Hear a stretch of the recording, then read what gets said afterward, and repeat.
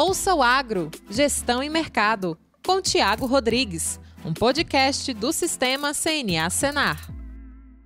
Olá, sejam todos bem-vindos a mais um episódio do podcast Ouça o Agro, Gestão e Mercado, que aborda a temática de mercados agropecuários e a gestão de custos e riscos de preços em negócios rurais. No episódio de hoje, a gente tem como título: Enquanto tarifas são retiradas, o queijo brasileiro continua premiado. Eu sou o Thiago Rodrigues, assessor técnico da CNA e trabalho com o projeto Campo Futuro, uma iniciativa do Sistema CNA com foco no levantamento dos custos de produção de diferentes atividades agropecuárias pelo país. Está comigo hoje Ronei Volpe, presidente da Comissão Nacional de Pecuária de Leite da CNA e da Câmara Setorial de Leite e Derivados. Seja bem-vindo, Ronei. Nossa saudação a todos os nossos companheiros, produtores de leite, técnicos, colegas da CNA, aos diretores, enfim, todos os, os produtores industriais, instituições e todas as, as, questões que são envolvidas, então, na cadeia láctea de leite. Obrigado, Ronei. Bom, para início de conversa, o que a gente vai tentar trazer aqui uma luz é com relação à pecuária de leiteira nacional. Né? Então, a gente tem alguns pontos aqui que para balizar esse, esse início de bate-papo nosso, principalmente, Ronei, no sentido de expor para nosso, os nossos ouvintes aqui como é que o setor é, tem, tem, tem se comportado hoje, né? O que, que são, o que, que a gente tem visto aí de desafios e como é que a gente tem, principalmente a gente, no, quando eu falo no âmbito do produtor, né? Como é que o produtor tem visto Sim. isso hoje? Como é que é o desafio? O que, que, que, que o mercado está sinalizando para esse produtor hoje? Bem, Tiago, eu poderia dizer que a cadeia láctea e, e, por consequência, então, a produção primária de leite, que nos é afeta a CNA, é uma das mais complexas e mais desafiadoras que existe no agro do país. Nós poderíamos dizer que lá nos anos 80, no, eh, na edição do Plano Cruzado para frente, o Brasil era o maior importador mundial de leite. E a partir daí, com um intervalo de em torno de 30 anos, nós chegamos a praticamente a autossuficiência. No início dos anos 2000, até a nossa balança comercial ser positiva. Né? A partir daí, também com aumento de consumo, com aumento da população, eh, nós eh, estamos praticamente autossuficientes, mas com, ainda com a dependência de pequeno percentual de importações que vem praticamente toda do Mercosul, onde que temos tarifa zero. De 2014, 15 em diante, nós estamos sofrendo com uma certa estagnação da, do volume de produção. E por vários motivos, né? Entre eles, acréscimo do percentual ah, inflacionário, nós temos uh, situações de dificuldade de sustentabilidade das, da, dos produtores, assim por diante. Então, estamos aí, vamos dizer, andando de lado na faixa de, de, de 35 bilhões de litros ano, né? Com o Minas Gerais continuando sendo o principal produtor, logo em seguida Paraná, Santa Catarina, Rio Grande do Sul, Goiás, então que são os países mais uh, maiores produtores e mais responsáveis então por esse volume todo. É só para só para complementar, Rony, para a gente é, não perder o gancho aí, já que você colocou essa questão da da, da, dificuldade aí, da produção andando de lado, né, a gente traz alguns números aqui só para elucidar. Por exemplo, um dos desafios hoje que o produtor tem vivenciado no campo é com relação a custo de produção. Né? A gente teve aí, pelo, pelo, pelo projeto Campo Futuro ano passado, um acompanhamento aí de algumas praças e fechou aqui no aumento de custo de 18% em relação a uma média aí dos, dos principais estados produtores. Né? Isso é, só lembrando que vem também do ano desafiador que foi 2020, né, que, essa, que essa alta foi até maior. Isso é um dos pontos é, que trazem para o setor esse, esse, esse crescimento modesto, vamos dizer assim, na, na produção nos últimos anos. Né? Ah, com certeza. E a partir, a partir da, do, do, advento da pandemia do coronavírus, uh, da Covid-19, nós tivemos assim uma, um pandemônio com relação aos mercados em si.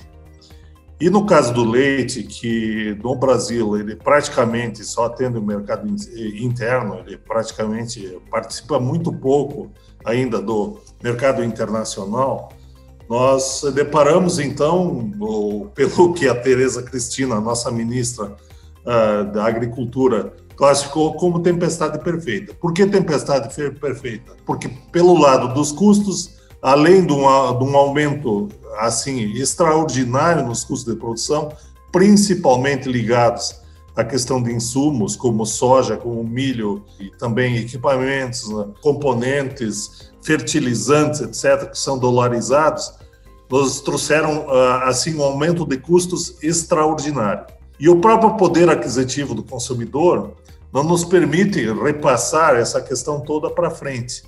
Então, represou na produção de leite e nós, com isso, tivemos então grandes dificuldades de sustentabilidade e, consequentemente, não só por esse motivo, mas por outros também, como a falta de sucessão ou desestímulo na produção, uma redução bastante grande, e está acontecendo até hoje, de, do número de produtores nos principais estados produtores. É, aproveitando o gancho aí que você colocou, Rony, é, do consumidor aí, né, que é, que é parte dessa cadeia produtiva e parte realmente é, interessante que faz a, a, a, roda girar, como a gente diz aqui, né?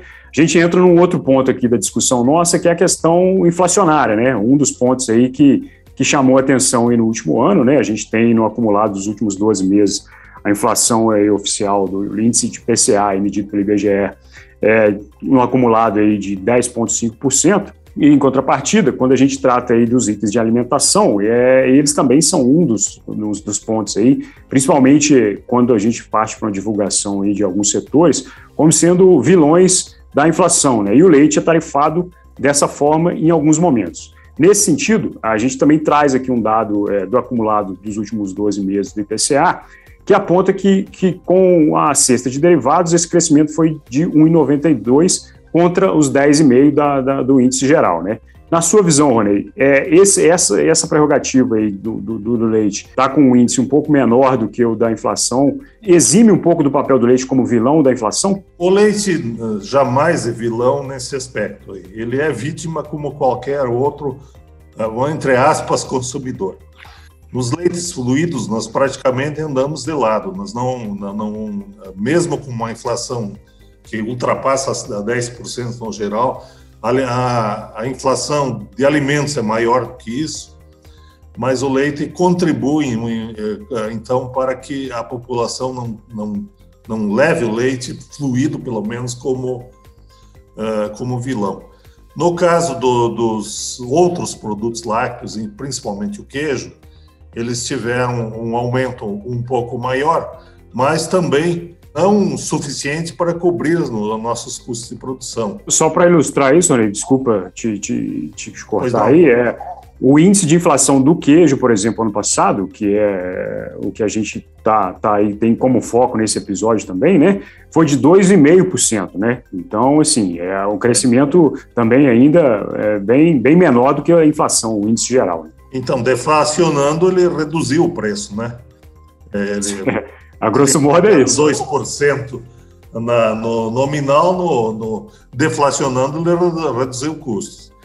E, e estamos experimentando agora, nesses primeiros meses de 2022, uns aumentos uh, de preços nominais até bastante significativos, isso apontados pelos principais conselheiros do país, seja Minas Gerais, seja Santa Catarina, Rio Grande do Sul ou Paraná. Porém, isso diz muito respeito a uma redução assim bastante significativa do, do, da produção primária, uma competição muito maior, então, pela matéria-prima leite do que com o consumo propriamente dito.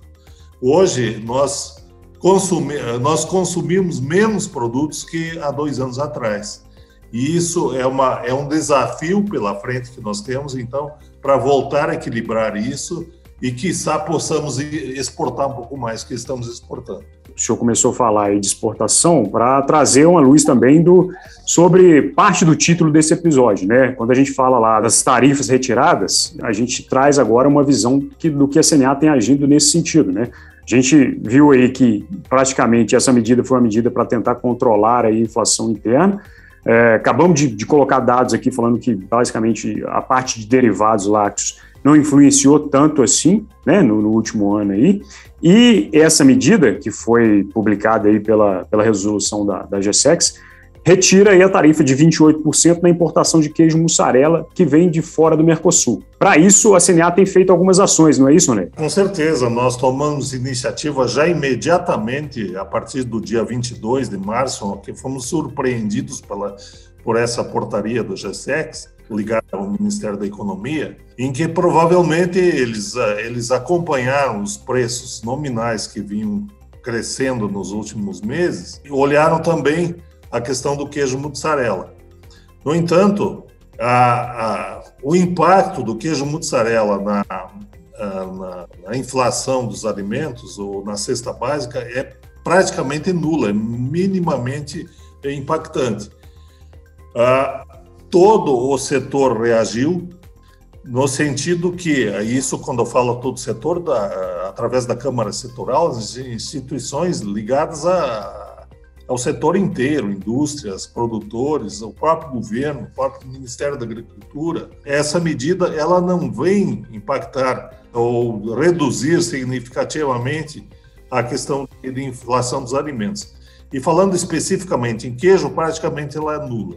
Não, não concordamos em absoluto também em aumento, em continuar essa inflação de alimentos aos consumidores. Nós, além de produtores, também somos consumidores e sabemos o quanto está difícil essa questão. O que talvez tivemos, eh, temos que olhar em termos estruturais pela frente é também acompanhar as margens de cada segmento.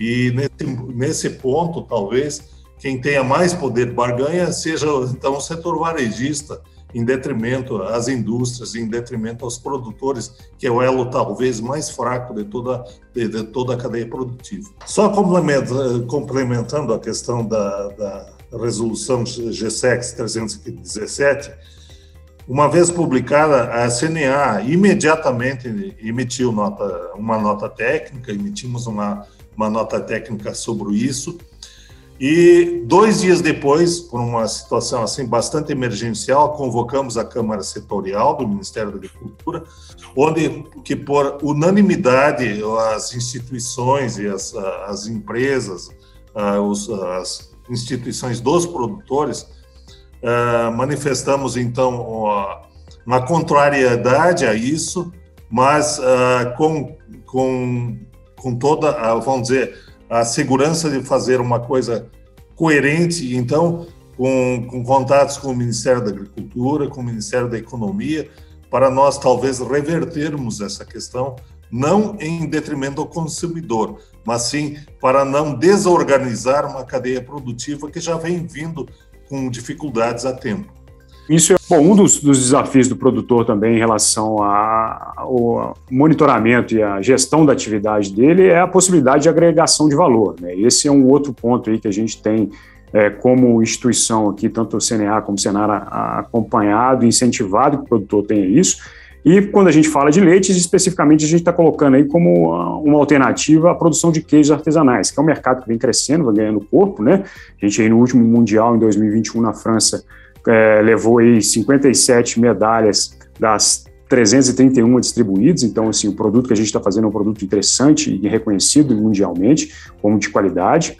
É, e para isso, é, Rony, você acha que esse movimento é, é algo que, que, realmente tem ganhado força, o produtor tem encarado isso como realmente uma nova alternativa de receita para atividade?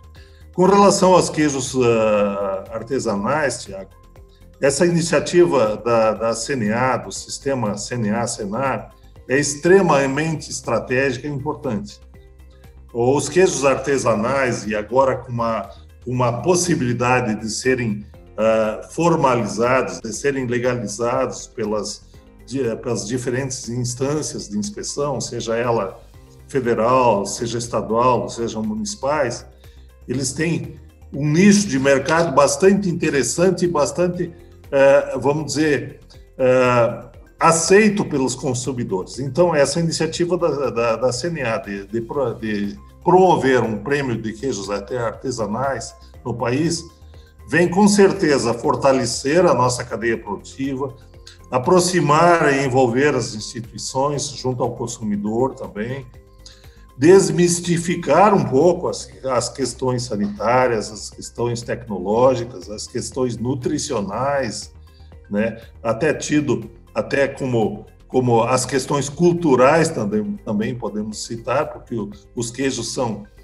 são consumidos e fazem parte da dieta dos, das pessoas desde a antiguidade, né?